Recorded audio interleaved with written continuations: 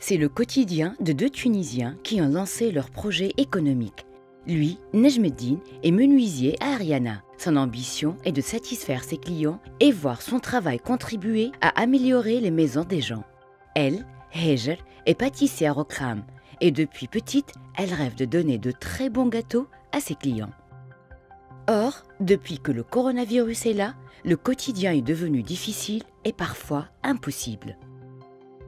ظروف صعيبة ما نجمناش نخلصوا فاتورة الضوء ما نجمناش نخلصوا الكمبيالة نتاع القرض نتاع ال BTS وحتى الكري ما خلطناش باش نخلصوه. كورونا أثرت على الاتيليو نتاعي خدمة نقصت presque 80% عندي فاتورات يلزمتهم يخلصوا كيما فاتوره الضوء كيما فاتوره الفورنيسور L'Agence nationale de l'emploi et du travail indépendant, ANETI, a déployé un effort particulier et spécialement pour les nouveaux entrepreneurs ayant obtenu un accompagnement de cette institution. في إطار متابعة المنتفعين ببرامج المرافقة للوكالة الوطنية للتشغيل والعمل المستقل لاحظنا اللي الباعثين ضروا برشا من جائحة الكورونا ومستحقين الفوندرولمون باش يخلصوا فاتوراتهم وبعض المصاريف الأخرى. تحت إشراف وزارة الشباب والرياضة والإدماج المهني وبالاتفاق مع الوكالة الفرنسية للتنمية تقرر إسناد منحه للباعثين اللي كانوا ينتفعوا بمنحة مرافقة في فترة جائحة كورونا من عند لانيتي.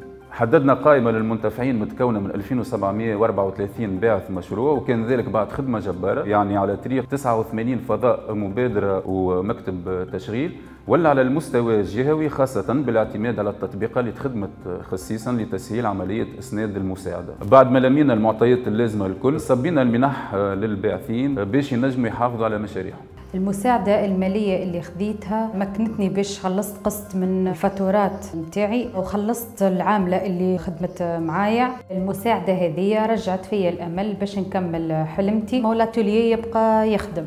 المبلغ المالي ساعدني برشا في خلاص الفاتورات في مصروف الخدامة في الكربيرون تاع الكاميون نتاعي المشروع هذا اللي عاوني عليه الوالد باش حليته اليوم نجم نواصل فيه ونطور فيه. L'Agence française de développement, qui soutient plusieurs secteurs d'activité en Tunisie, a financé cette opération.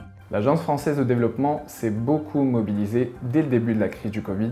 On a travaillé avec l'État tunisien et surtout le ministère en charge de la formation professionnelle pour consacrer des fonds existants sur d'autres projets à des mesures urgentes pour l'emploi. On a commencé avec cette action spécifique aux micro-entrepreneurs de l'ANITI, mais on va poursuivre avec l'État tunisien pour apporter une aide aux petites et moyennes entreprises et à l'ensemble des micro-entrepreneurs.